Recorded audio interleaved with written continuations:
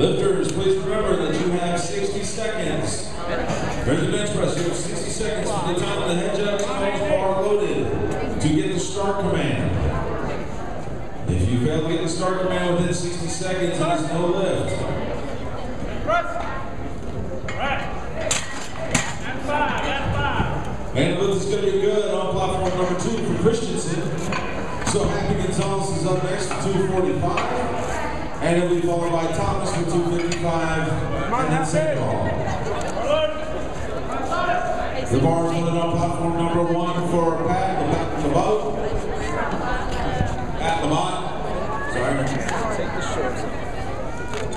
Pat Lamont is your lifter with 400 pounds. T-Bow's on deck. And then we'll start second attempt bench press.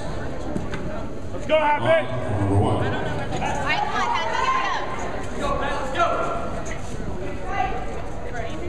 You got this. Right here. Start. Press. Right! Right! And it's going to be a good look for Happy Gonzalez on platform number two.